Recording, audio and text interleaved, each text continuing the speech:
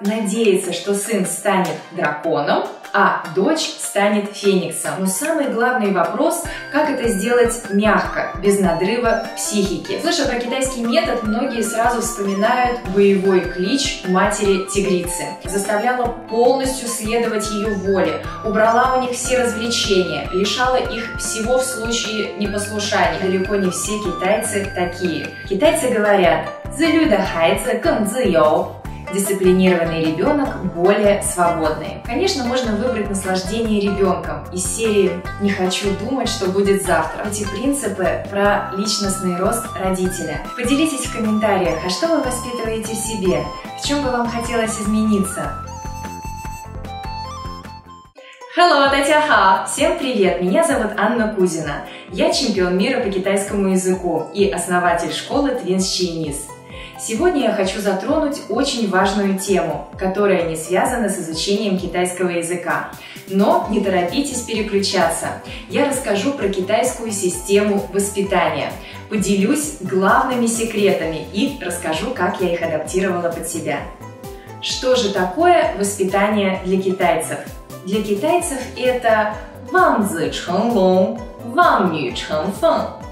это переводится как «надеяться, что сын станет драконом, а дочь станет фениксом».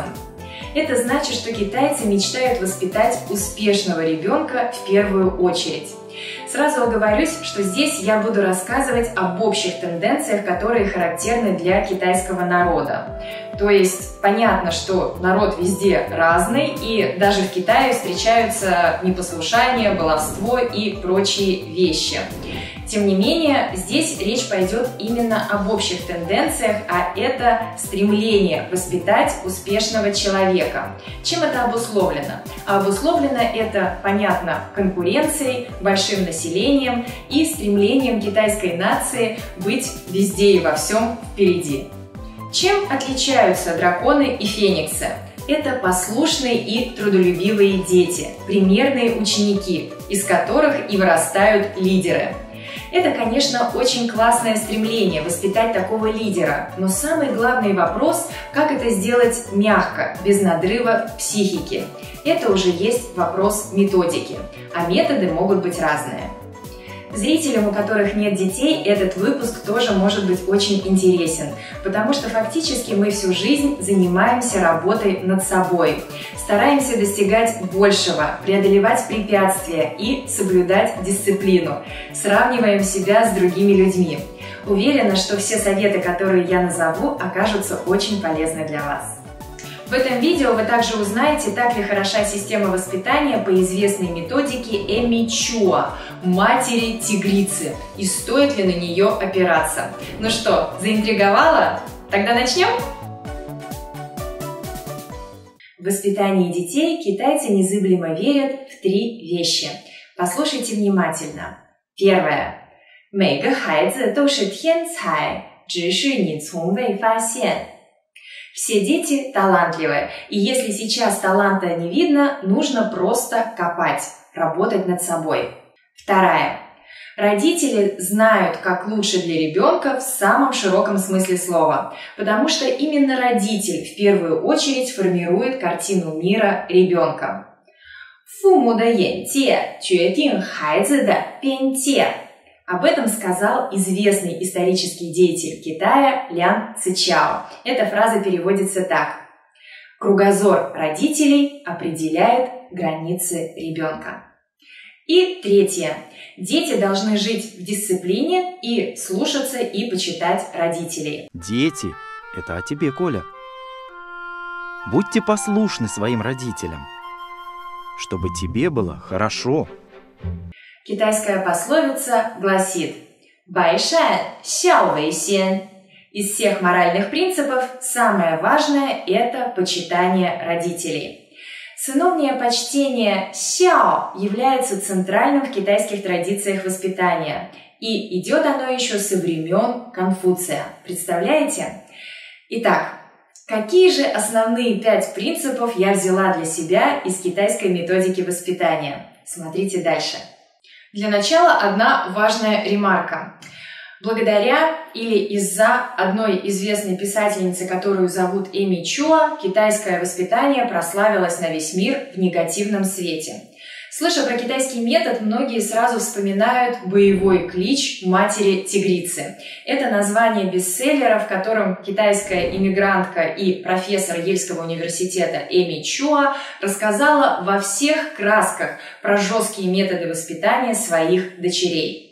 А она делала следующее. Требовала от них отличных оценок, заставляла полностью следовать ее воле, убрала у них все развлечения, лишала их всего в случае непослушания. Например, могла лишить их даже пищи и запретить пойти в туалет. А если девочки не играли как следует гамму или отказывались играть на музыкальном инструменте в принципе, она в воспитательных целях могла выставить их на мороз. Везет старик дочку родную в чащу лесную, Не по собственному хотенью, а по мачехину веленью.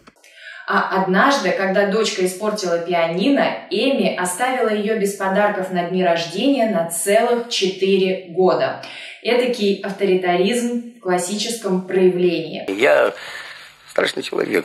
Да? Тиран деспот, коварен, капризен, злопамятен.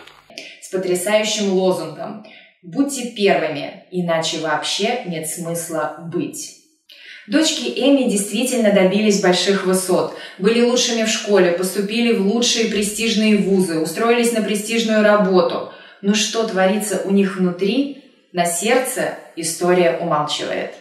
Надо ли говорить, что далеко не все китайцы такие? Хотя бы потому, что не все могут быть первыми, и не все родители хотят этого для своих детей.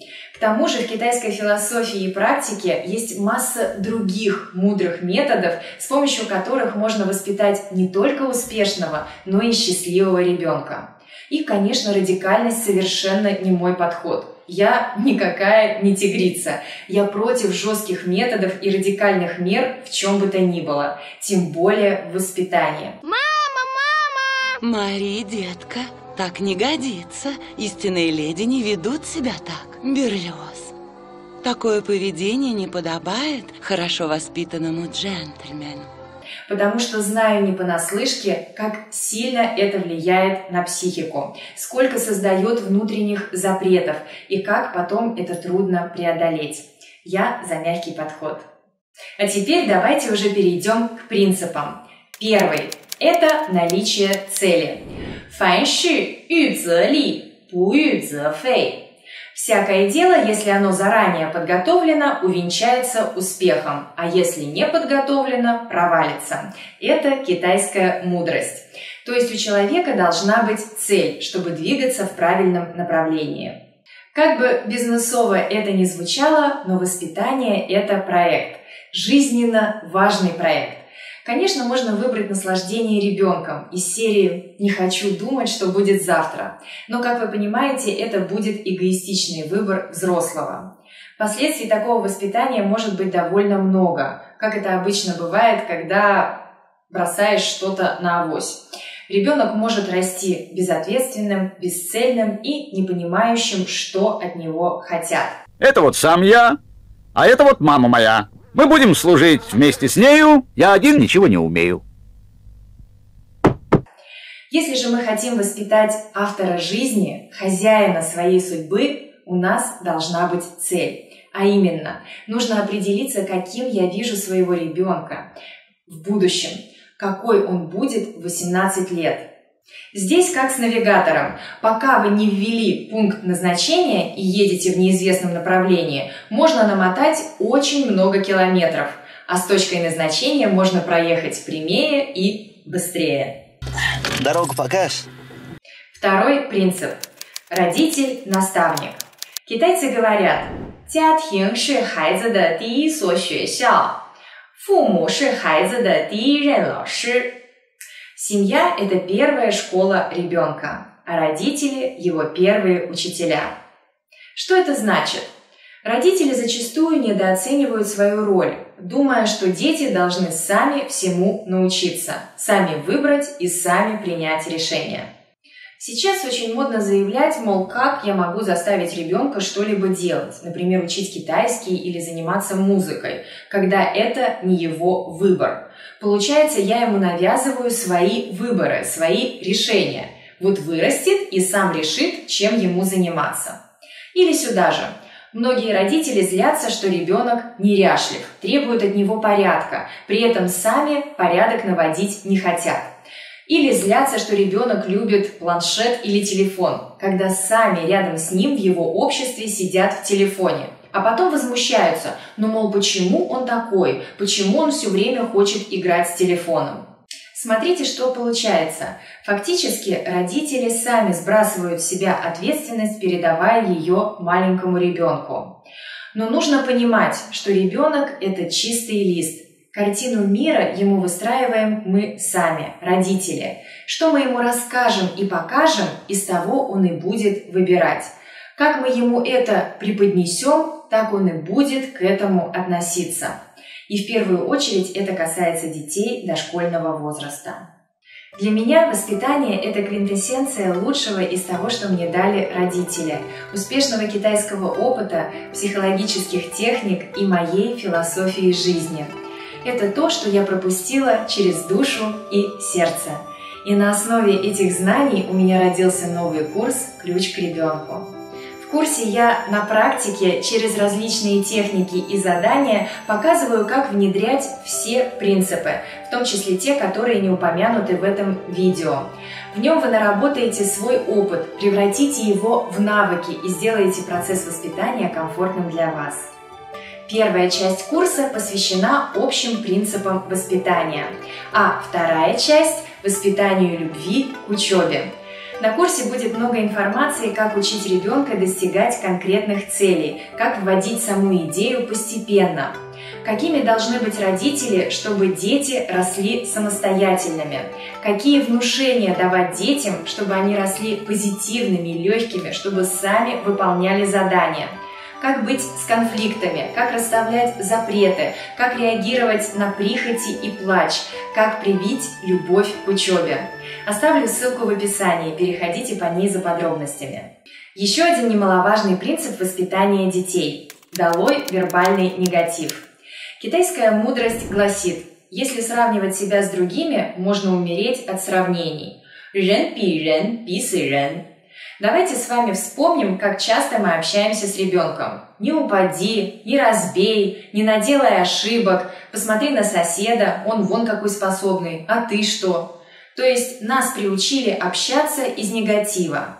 Получается, что все позитивное – это само собой разумеющееся. И об этом умалчивается. А негатив нужно срочно показать, чтобы скорее его нейтрализовать но происходит ровным счетом наоборот. Наш мозг устроен так, что он отражает то, что мы больше всего подчеркиваем. Если постоянно говорить, что может быть плохо, значит будет плохо. К сожалению, это записывается на подкорку детей и становится их системой ценностей и убеждений. Сюда же идут страхи, причины определенных действий и выборов. То же самое происходит и с учебой. Мы часто невзначай говорим при детях, как устали от работы, как нам хочется скорее выходных. С несчастным лицом провожаем ребенка в понедельник в школу, таким образом внушая ему, что учеба и работа – это бяка. Но задумайтесь, ведь именно благодаря учебе мы устраиваемся на работу, а благодаря работе наша жизнь становится лучше. Вот хочу устроиться на работу. Не могу без работы. Поэтому я выступаю за позитивные внушения детям. Четвертый принцип – поощрение самостоятельности. Как там у нас думают многие родители? Лучше сделаю все сам, а то придется переделывать. Нам очень трудно принять самостоятельность ребенка. Хочется все скорее и быстрее. Иначе, если дать ребенку что-то делать, потом придется все переделывать, и якобы это займет еще больше времени. При этом мы не задумываемся о том, что решаем проблему только на короткую перспективу и что это ведет к последствиям в будущем, потому что таким образом мы лишаем ребенка возможности самостоятельно что-то делать, лишаем его возможности научиться.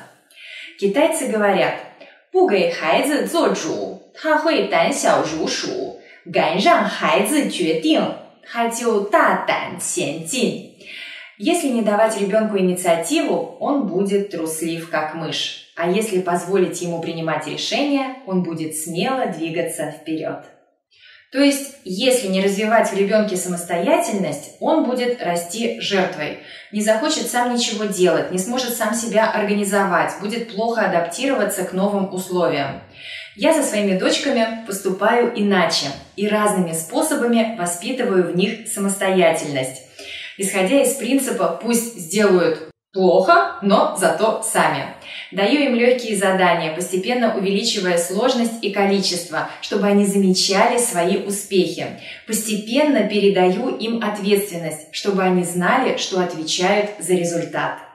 В итоге сейчас девочкам всего 6, но они сами заправляют кровати, сами собираются в школу, сами причесываются, наводят порядок на столе и сами садятся делать уроки. С радостью занимаются даже в выходные и на каникулах. Так что все работает, если вводить постепенно, согласно искусству маленьких шагов. И последний принцип на сегодня. Дисциплина – это свобода. Китайцы говорят –自律的孩子更自由。дисциплинированный ребенок более свободный. Многие думают, что дисциплина – это про армию, про лишение детства. Солдат обязан приносить стойко все тяготы и лишения воинской службы. Ясно? Так точно. Но на самом деле это залог здоровых отношений с родителями и залог комфортного существования в обществе. Без дисциплины дети растут неуправляемыми и неприспособленными к социуму. Дисциплина – это про семейную конституцию, правила и санкции за нарушение. И самое важное здесь – это правильно выстроить эту систему, чтобы воспитывать без крика и слез. Для этого родителю нужно выстроить авторитет. Как это сделать мягко, я как раз рассказываю на курсе. Вот и все принципы, про которые я хотела сегодня рассказать. Вы наверняка уже уловили, что эти принципы про личностный рост родителя, про самосовершенствование. По факту про новую жизнь, лучшую жизнь. Потому что дети к нам приходят не просто так. Они наши учителя, которые преподают нам уроки. А уроки – это не наказание, это возможность для мощного роста и выхода на новый уровень в разных сферах жизни. То есть, как мы, родители, отражаем наших детей, так и дети отражают нас. И из раза в раз они подсвечивают нам те сферы, которые мы должны прокачать в себе. Поделитесь в комментариях, а что вы воспитываете в себе? В чем бы вам хотелось измениться? С вами была Анна Кузина. До встречи на следующей неделе. Пока-пока!